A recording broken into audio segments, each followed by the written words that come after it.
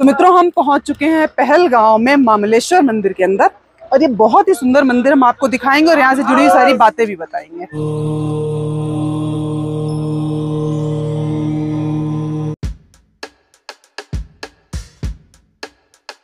तो मित्रों, आज हम आपको लेकर चल रहे हैं ममल गाँव में, जो कि पहलगाम से एक किलोमीटर की दूरी पर है। और यहाँ पर हम आपको दिखाएँगे लिद्दर नदी के किनारे बसा 900 साल पुराना शिव मंदिर। और इस मंदिर की खास बात यह है कि साल के पूरे 12 महीने खुला रहता है, एक भी दिन ये मंदिर बंद नहीं होता। और इसकी जो देख का काम है, वो कश्मीर सरकार को सौंपा गया है और यहाँ के जो पुजारी हैं, वो मुस्लिम हैं। और यहाँ के बारे में मान्यता है कि वही स्थान है जहाँ पर माता पार्वती ने अपने उबटन के मैल से गणेश जी को तैयार किया था, यानी कि उनकी उत्पत्ति की थी। तो गणेश जी की उत्पत्ति का ये स्थान बताया जाता है और ये स्थान जो है, पहलगाम के मेन मार्केट को जब क्रॉस करके हम इस लिद्दर नदी के ऊपर बने हुए ब्रिज को क्रॉस करके आगे बढ़ते हैं तो हम पहुँचते हैं ममल गाँव की तरफ़ और जहाँ पर स्थित है ये शिव जी का मंदिर। तो अब हम लगभग पहुँचने वाले हैं थोड़ी सी दूरी पे चलते हैं और आपको दिखाते हैं इतना सुंदर सा मंदिर और चारों तरफ़ आप देखेंगे यहाँ पर बहुत सारे हमारी फौज के यहाँ पे लाइन से आपको दिखाई देते रहेंगे कदम कदम पे,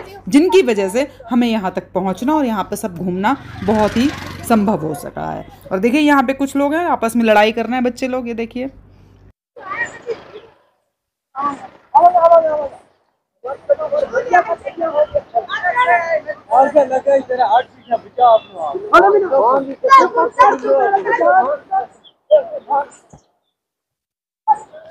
फ़िलहाल इनकी जो भाषा है वो मुझे समझ नहीं आई और हमें सामने ही दिखाई दे गया हमारे शिव जी का स्थान। ये देखिए, बाहर से आपको बहुत ही साधारण सा दिख रहा है लेकिन इसके अंदर प्रवेश करते ही ऐसा लगता है हम किसी और दुनिया में पहुँच गए। अंदर से तो खूबसूरती इसकी बहुत ही अच्छी है और इसको अंदर जाते ही लग रहा है कि कितना प्राचीन रहा होगा। और ये जो बाहर आपको एरिया दिखाई दे रहा है, ये सारा ममल गाँव है। मित्रों, कश्मीर में रहने वाले हिंदू लोग और पर्यटकों के लिए मंदिर बहुत महत्व रखता है। और वर्तमान में कश्मीर घाटी में रोज़ाना कुछ न कुछ खतरनाक होता ही रहता है। फिर भी ये मंदिर अपनी जगह शांत और स्थिर खड़ा दिखाई देता है। और आपको बता दें कि नाम जो है यहाँ का ममल मंदिर है। परंतु आप में से बहुत सारे लोग, मैं भी इसको नहीं समझ पाई थी कि ममल का मतलब क्या होता है। तो इसके बारे में बताते हैं कि कुछ लोगों का कहना है कि इस मंदिर का नाम मंदिर के निर्माता राजा जयसूरी के समय से रखा हुआ है। और मान्यता है कि इस स्थान पर गणेश जी को एक रक्षक के रूप में खड़ा किया गया था और माता पार्वती ने उनसे कहा था कि जब तक तुमको इजाज़त ना मिले, तब तक तुम किसी को अंदर ना आने देना। इसलिए कुछ लोगों का मानना है कि मामलो शब्द का अर्थ होता है मत जाओ। तो यहाँ के लोगों का कहना है कि मंदिर का इनाम गणेश जी की घटना से ही लिया गया है और यहाँ पर जो इसकी जो हिस्ट्री है, वो लिखी हुई है इस बोर्ड पर, हिस्ट्री ऑफ़ ममल टेंपल तो जो ये मैं आपको बता रही हूँ, वही सब कुछ शॉर्ट में लिखा हुआ है। और आप इसके पीछे देखेंगे बहुत बड़ा सा पार्क सा एरिया है, जहाँ पे आप बैठ भी सकते हैं। बड़ा सुंदर सा ये एरिया पूरा बनाया हुआ है। और मित्रों, इस मंदिर का संबंध जो है बारहवीं शताब्दी के राजा जय सिमा के काल से है और ये मंदिर कश्मीर के सबसे प्राचीन मंदिरों में से एक है। और आप देख ही पा रहे हैं, लिद्दर नदी के बिल्कुल किनारे पे है। और अब हम चलते हैं जरा इसके अंदर और अंदर से हम आपको प्राचीन शिव जी के दर्शन कराते हैं, जो कि इसके अंदर है। और बाहर से आप देख रहे होंगे ना, कितना अलग सा लग रहा है। ऐसा लग रहा है कि कितना, वाकई में कितना पुराना ये स्थान है। और ये जो कुंड बना हुआ है, ये वही कुंड है, जहाँ पे बताते हैं कि पार्वती माता ने स्नान किया था और जहाँ पे गणेश जी को बिठाया था। तो हम अंदर चल के थोड़ा सा देखेंगे कि क्या है यहाँ पे, किस तरीके का क्या है, क्योंकि यहाँ पे बताया जाता है जो नंदी भगवान है तो नंदी भगवान जी के दो मुँह हैं मतलब दो सिर वाले नंदी बाबा अंदर हैं और शिव जी हैं। तो चलिए अंदर चलते हैं और कराते हैं आपको दर्शन।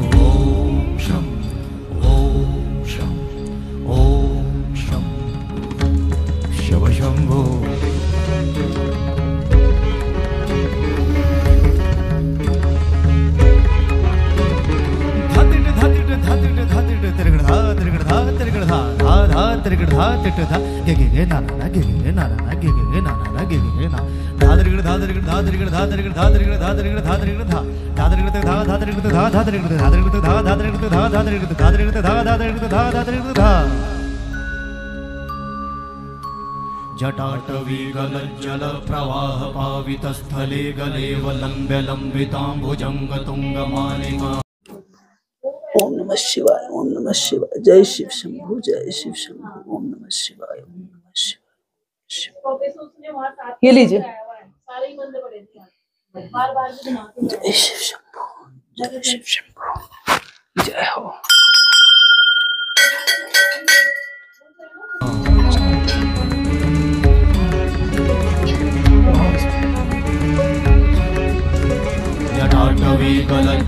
प्रवाहपावितस्थले गलेवलम्बलम्बिताम्बुजं गतुङ्गमालिका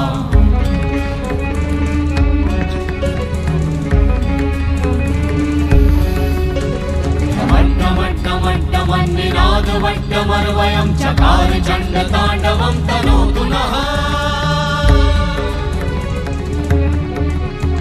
शिव शिवं शिव शिवं शिव शिवम् तो चलिए इस मंदिर की एक परिक्रमा लगाते हैं और साथ में हम आपको ये भी बता दें कि कुछ लोगों का कहना है कि यहाँ पर पाँच पांडवों की पिंडियाँ स्थापित हैं। मतलब बताया जाता है कि पाँच पांडव यहाँ पर शिव जी के दर्शन के लिए रुके थे, लेकिन शिव जी अमरनाथ जो थे, वो दूसरे स्थान से ही निकल गए थे, जो हमने आपको पिछला वीडियो दिखाया था, जिसमें हमने आपको वो स्थान दिखाया था, जहाँ उन्होंने नंदी बाबा को छोड़ा था, जो हमने आपको नंदी टेंपल गौरीशंकर टेंपल दिखाया था। तो शिव जी वहीं से आगे अमरनाथ की यात्रा में निकल जाते हैं और वो पांडवों से मिलने नहीं आते हैं। तो ये कहानी बताई थी हमें गौरीशंकर के जो, गौरीशंकर मंदिर के जो पुजारी जी थे, उन्होंने बताया था कि यहाँ पर पांडवों का ये स्थान है और पांडव जी की पाँच पांडवों की यहाँ पे पिंडियाँ स्थापित हैं, ऐसा उन्होंने बताया था। लेकिन मित्रों, मैं आपको एक बात बता दूँ, मैं जब पाताल भुवनेश्वर गई थी तो वहाँ पर मैंने गणेश जी का कटा हुआ जो आधा धड़ था सर, वहाँ पे देखा था और ऊपर से अमृत टपक रहा था, वो सब कुछ भी उस गुफा में देखा था। तो थोड़ा सा कहानियों में कन्फ्यूज़न है, क्योंकि वहाँ पे बताया गया था कि गणेश जी की ये जो घटना थी, उनका गर्दन काटने वाली घटना थी और जो भी था वो सारा कुछ पाताल भुवनेश्वर की गुफा में हुआ था और वो मैंने वहाँ पे सारा कुछ देखा भी था उतर के नीचे सारी गुफा। बहुत ही विशाल बहुत ही विचित्र गुफा थी वो। वो सब कुछ भी देखा था और यहाँ पे भी ऐसी ही कुछ कहानी बताई गई है। फ़िलहाल कहानी कुछ भी हो लेकिन हाँ यहाँ के दर्शन करके और यहाँ की जो अनुभूति है वो वाकई में बहुत ही अ, कहना चाहिए आध्यात्मिक है और बहुत ही ऊर्जा से भरा ये क्षेत्र है। तो निश्चय ही ये कुछ ना कुछ तो यहाँ से जुड़ा हुआ ज़रूर ही रहा होगा। क्या कहानियाँ हैं ये तो कहानियों की बात है लेकिन ये स्थल बहुत ही कहना चाहिए शुद्ध है बहुत ही पवित्र है और यहाँ पर एक बार हर इंसान को ज़रूर आना चाहिए। जब भी आप अमरनाथ यात्रा पर जाएँ तो ममलेश्वर मंदिर के इस मंदिर के दर्शन करने इस ममल गाँव में ज़रूर आए। तो हम दर्शन करके निकल रहे हैं बाहर और देखते हैं रास्ते में कुछ और चीज़ दिखाई देंगी तो हम आपको दिखाते हुए चलते हैं। क्या नाम है आपका? जहरान। जहरान। ओ और इसका नाम क्या है? दिखाओ शक्ल तो दिखाओ इतनी सुंदर सी शक्ल नहीं जहरान और जैफ। जैफ। घोड़े आ रहे हैं साइड हो जाओ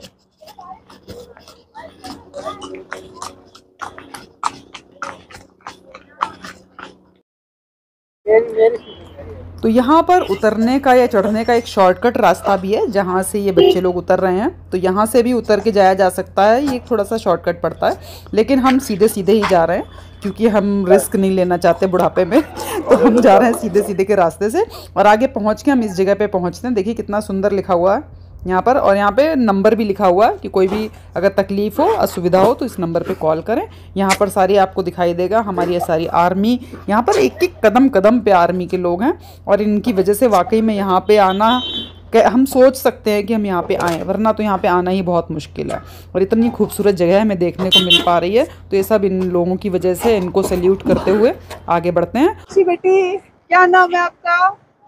क्या नाम है इसका? नाजिया। ओ। नाजिया को नाज है। और अब हम वापस उसी लिद्दर नदी के ऊपर जो ब्रिज है वहाँ पर वापस आ गए हैं और ये रास्ता पूरा खत्म होगा मेन मार्केट की तरफ़ जाकर। तो ये पूरा वो रास्ता है। और ये देखिए सामने हमारे जाबाज सिपाही जाबाज लोग आ रहे हैं जिनके ऊपर हमें बहुत ही गर्व है। जय हिंद।